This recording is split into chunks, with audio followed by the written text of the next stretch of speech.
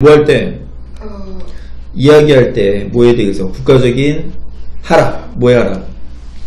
어, 주, 집, 그러니까 주택 가격의 하락을 이야기할 때 대부분의 사람은 생각하죠. 뭘 생각하냐면 도시, 이 나라에 있는 모든 도시들이 영향받았다고 생각하죠.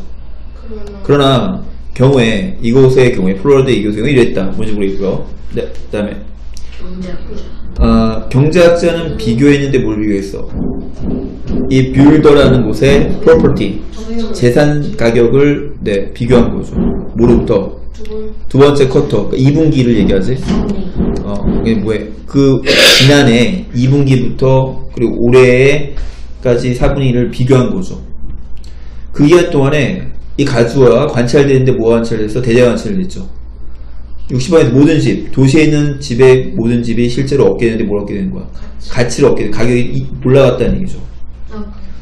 어, high quality의 school, 좋은 quality의 학교, 아름다운 풍경, 그리고 성장인데 지역의 증가, 근데 뭐의 증가? 직업, 지역의 직업 기회의 증가가 세 가지 핵심적인 요, 요인이죠. 말하여지는, 뭐라고 말하여지는? fueling 한다고 말하여지는. 계속된 수요에다가 fueling 한다는 말은 뭐지? 연료가 연료가 되는, 아죠 자극하는 이런 식이죠. 자극하는 네, 요인이라고 말해지는 거죠. 그럼 다시 말하면 이게 뭐 들어갈까? 이곳은 뭐 했다는 얘기야? 가격이 뛰었더라. 딴 데 떨어졌는데, 딴 데 여기 뛰었더라. 이 얘기하는 거잖아. 그래? 디버 네. 다음 그래서, 네, 디번, 디번 해볼게. 그건 뭐냐면, 경제학자가 뭐 할 수 없는, 설명할 수 없는 것이다. 이거 설명, 경제학적으로 설명할 수 없어. 가격이 뛰는데. 이거 아닌 것 같고. 그 다음에, 뭐죠?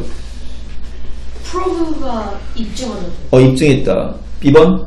입증하는데 뭐 입증한다? 이것이 정확하지 않은 가정이라고 입증한다. 뭐가? 가격이 전국적으로 떨어지고 있다는 건 정확하지 않다는 얘기죠. 딴 데는 뛰고 있다는 얘기지. 답은 B번.